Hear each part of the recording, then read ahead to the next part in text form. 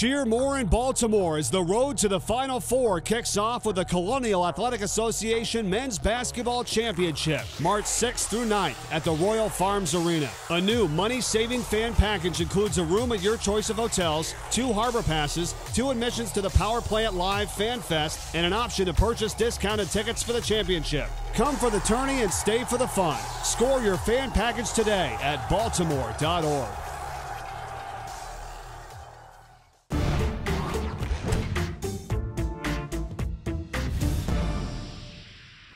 because he can apply pressure, he can get in the lane, and they haven't had good starts, JMU. Starting has been a problem. Now, as you can see, JMU starting.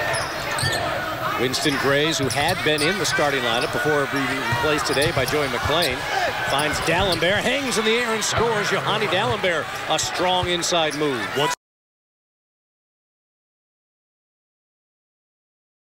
offensively has got five already for the Tigers. Morsell, a big-time three. And Morrison. It gave the Tigers their first lead of the day that is erased by a Ron Curry three. Previous segment by James Madison. Ball movement always creates open shots against zone or man. McGlynn, that's his specialty. He's a deadly three-point shooter and picks up his first of the afternoon. He has struggled playing on the road. Nice. Davis, one more pass from Timajh Parker Rivera. Picture perfect. Out on the screens. Curry back of the iron. Here comes Hawkins on the move. Finds Davis, slashes to the rim and scores. Tigers and now the Dukes with a drought of over five and a half minutes. Can't be ended by Kaba. Can Dalembert do it? He keeps it alive. Curry free for the three. Yes! Big bucket for Ron Curry. It's a two-point contest. These two teams met back on January 3rd. Curry, stop and pop. Got it. Wow. Another three, his fourth of the day. He now knows it is his team. But can't give his team the lead. Dalembert the putback off the miss. He can. Yeah, and he's, uh, he's an all-star there. Turned over. Morsell up ahead to Hawkins. Behind the back and the finish off the window. Boy, that was sweet. Skerry delighted about the attention this game and his efforts along with his wife Kristen have maintained as rolling it in was Joey McLean. Top a, what now, Five five games, game yeah. losing streak. And the Nets coming in, uh, ready to play with Deron Williams. How about that shot inside, though, by... He atoned. Yeah. John Johnny Davis Missed an easy one. That one was even harder. Was able to finish that. Oh, good hesitation, Dalembert.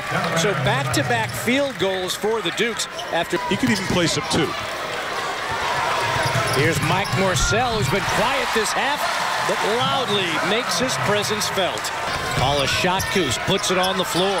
The kick back out. Curry brought Morsell out. One more in the corner, and another three-pointer, his second in a row from Joey McLean. Know, Pat Skerry's not happy about that because when you give up second chances, that's what happens.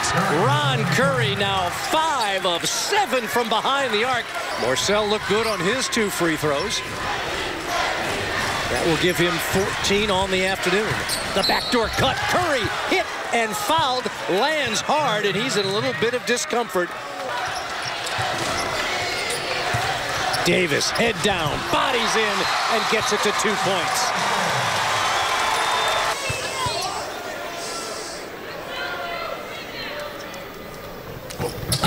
He got them both. Now Pat Skerry will take his final timeout. Matt Brady orchestrates on the JMU sideline. Has Vodanovich. And Gray switch. Morsell on Curry. Two to shoot. He'll take a jumper. And it goes in at the buzzer. That's how JMU wins it. 28 points for their junior leader, Ron Curry. And on the road, the Dukes knock off the Tigers 63-61. It's going to be a two-pointer and the final.